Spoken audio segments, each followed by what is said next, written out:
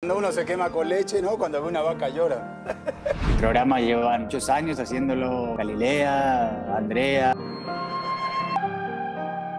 Tras darse a conocer la pérdida de la vida del conductor Fernando del Solar, varios programas del mundo del espectáculo se han encargado de hacerle algún tipo de homenaje, entre los cuales, irónicamente, está el matutino de Televisa, el programa Hoy, programa en el que recordemos, también participó el ex esposo de Ingrid Coronado, y donde el famoso no la pasó nada bien, Fernando del Solar, dejó el programa Venga la Alegría en el año 2018 para integrarse a las filas del programa Hoy. Todo esto bajo el apoyo de la recordada productora Magda Rodríguez.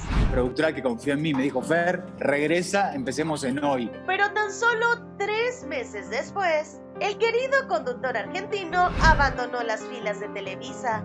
A mí me quedaba muy claro que yo era la persona que llegaba a ser equipo. Más adelante, el conductor estuvo reconociendo que no había logrado tener una buena comunicación con el equipo, razón por la cual entonces él no se sentía cómodo trabajando en el programa hoy y por esa misma razón había decidido renunciar. Desgraciadamente no logré como empatizar como a mí me hubiese gustado. Pero sin embargo, Fernando del Solar siempre destacó sus intenciones de llevar las cosas por buen camino.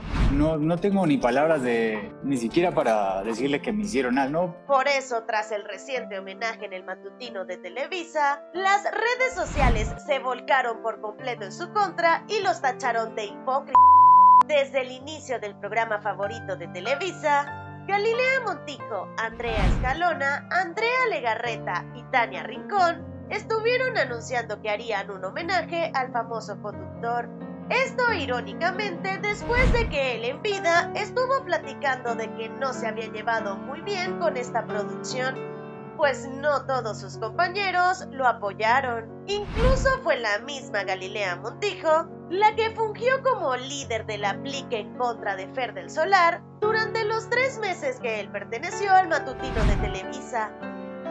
Y ahora se dice conmovida tras la pérdida del argentino. que convivimos aquí en hoy, tus ganas que le ponías todos los días. Sin embargo, a pesar de su tremenda actuación, la gente no le creyó ni un poquito que ella se sintiera realmente afectada tras la partida de Fernando del Solar, mismo que por tres meses estuvo soportando ser ignorado por ella y también viviendo todas sus vejaciones. Y gracias por, por el tiempo que compartiste con nosotros, gracias por el ejemplo. Pero Fernando del Solar fue un ser lleno de luz y él nunca se encargó de responsabilizar, al menos públicamente, a Galilea Montijo y Andrea Legarreta de la mala vida que le hicieron pasar dentro de Televisa.